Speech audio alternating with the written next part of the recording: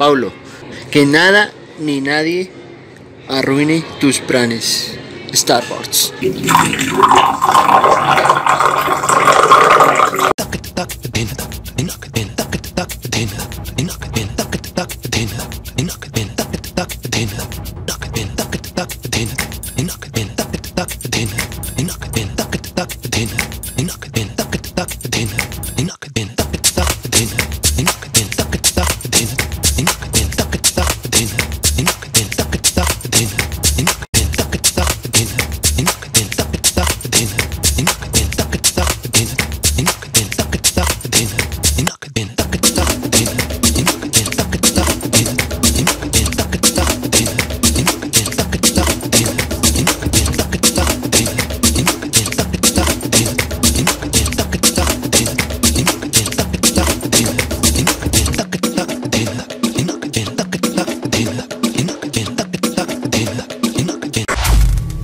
Y así es chicos, en el video de hoy les voy a mostrar un poquito de la historia de nuestro café, café colombiano y cómo las marcas importantes fueron llegando a nuestro país. Así que quédense y bienvenidos a este nuevo video.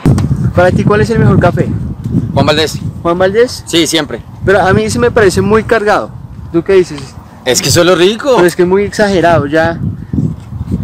Porque si tú lo acompañas con alguna merienda, un pasabocas, no va a ser igual. Al ser, Eh, tan, al ser tan cargado, ¿o qué opinas? a mí sí me gusta el café cargado. ¿Sí? Y, y me parece que, sí, me parece que un buen café tiene que ser cargadito. Que sepa café, que sepa de verdad fuerte, amargo.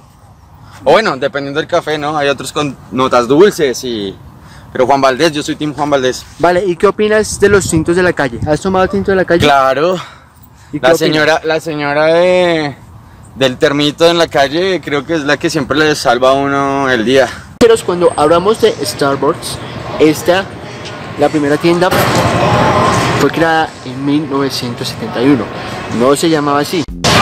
Pero el señor y el que hoy en día es el presidente, Howard Schultz, probó el café de allí y quedó encantado el de esa empresa.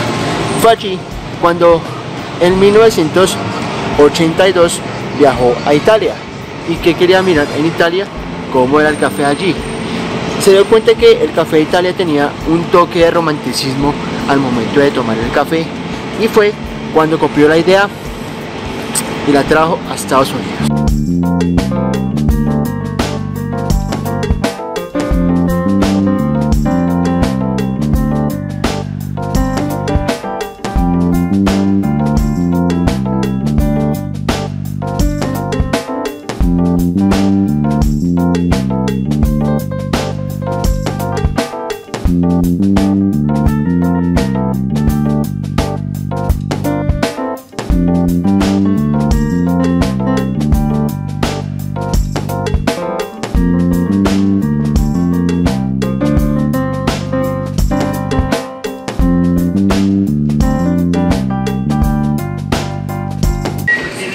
Algún permiso de SEA para tomar fotos dentro de la tienda? No estoy grande, ¿no se puede? No, señor. Ah, vale, toca tener un permiso para eso.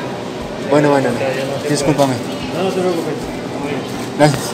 Bueno amigos, no se puede grabar, lastimosamente. Alcancé una estomita nomás.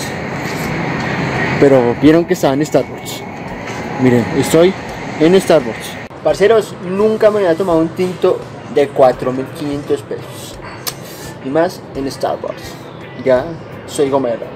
Bueno parceros, ¿qué les puedo decir de el tinto de Starbucks? Vale 4.500 pero vale la pena pagarlos porque es grande vienen 300 mililitros y ustedes se imaginan los otros si este vale 4.500 pesos alcancé a ver que hay incluso de 6.900 se imaginan lo grande que deben que deben ser. Hoy veo hoy veo una Bogotá calmada una Bogotá con mucho silencio. Y eso que es 4 3 de enero. Quizás el, el 4 ya se vuelve ya vuelve todo a la normalidad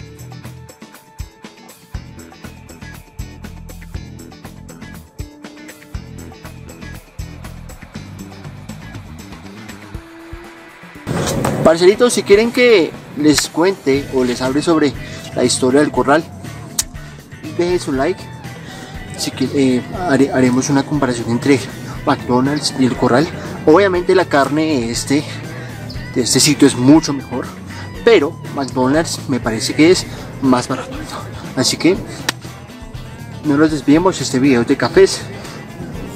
Tal vez con tu like puede ser que sea de hamburguesas.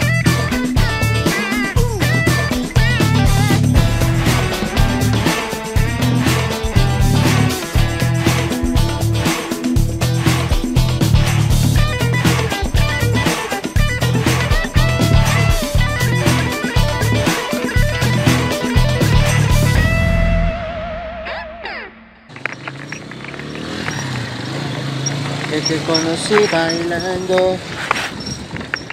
Cuéntale que te conocí bailando. Cuéntale que soy mejor que él. Cuéntale que te traigo loca. Cuéntale que soy mejor que él. Se me ve como un mensajero.